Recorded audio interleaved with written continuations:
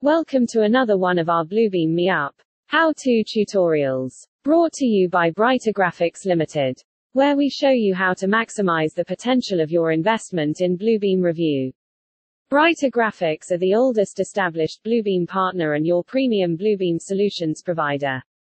Let's get started. In this video, we are going to show you how to Create annotations that auto-increment by number, Roman numerals or letters each time they are placed onto a PDF. Only text-based tools can have sequences linked to them. To add a sequence to a text-based tool, open the tool chest. Select the text-based tool you want to use. In this example we have a simple text box with the letter A inside. Make sure the tool is in drawing mode. Right-click on the tool and select Drawing Mode. Now, right-click on the tool, mouse over Sequence, then click Define. In the Sequence dialog box, Style defines the number or letter the sequence will look like. You can also define a prefix and suffix text for the sequence.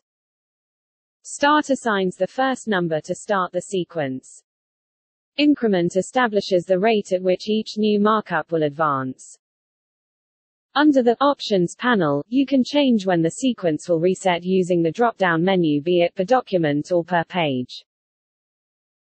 You also have the option to renumber the markups as they get deleted.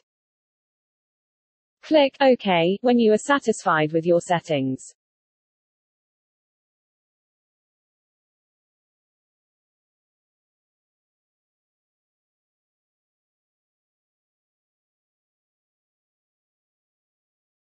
Thank you for watching. We hope you found the video useful. You can visit our website, www.brightergraphics.com, for more videos in the how-to series and all things Bluebeam Revu. We at Brighter Graphics welcome your feedback to help us to improve.